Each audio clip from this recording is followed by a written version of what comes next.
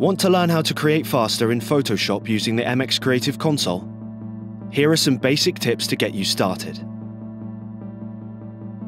You'll see that your Creative Console is already set up with a default profile, featuring the most important Adobe Photoshop tools and actions. The dial pad is configured for easy navigation.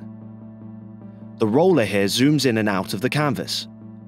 By default, the dial itself navigates through layers when twisted but as you select actions on the keypad, it will automatically adjust to them. On the keypad, you can find frequently used Photoshop selection and editing tools on the first page. Handy tools for layer management and exporting your files can be found on the second page. Let's try out some of the tools. Hold down the bottom left button here and use your mouse as usual to pan around your work. To reach the layer you want to edit, simply twist the dial.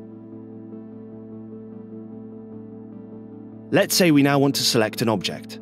Easy. One press triggers the quick selection tool. When you trigger an adjustment-based action, like the quick selection tool, your dial will switch behavior to adjust it. Easily take a step back to view your whole design using the Fit on Screen key.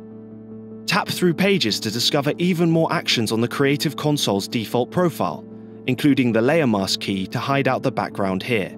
With a quick turn of the dial, you can reach the layer below, Tap blending mode and use the dial to browse through the different modes. Once you've found the right mode for you, press the key again to bring the dial back to its original setting.